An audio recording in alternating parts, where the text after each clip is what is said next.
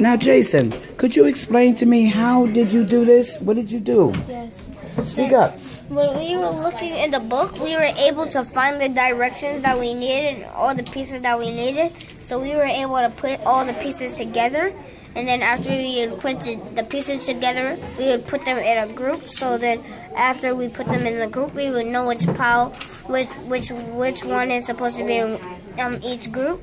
So after when we put them together, we made the other parts that we needed for the small the small parts that we needed to connect on to the strings. So after that, then we finished. And what did you have in the making once you finished? What are In we the looking at? We had a station that the ro- the robot has to pull. The robot has to pull this, and then and when it pulls this, it's supposed to make the face pop up. And Damon, you worked very closely. What is it that you are doing right now? What is that you're holding in your hand, and what are you doing?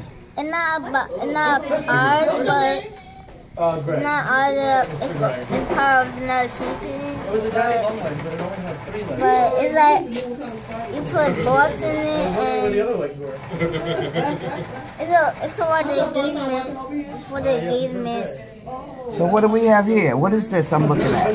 What is that? This is a this is like a satellite. A satellite? Yeah, and you pull this when you tie it through these. It goes through these. It goes through these Mm-hmm. and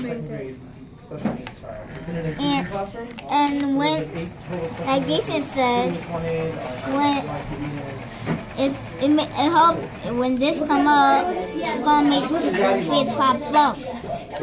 Wow. So Jason, what is your final statement about this? My final statement is that when when the robot tries to pull this up, is I hope it works. Oh, thank you very much, Jason and Damon. This is Miss V, Channel 2 News, New York.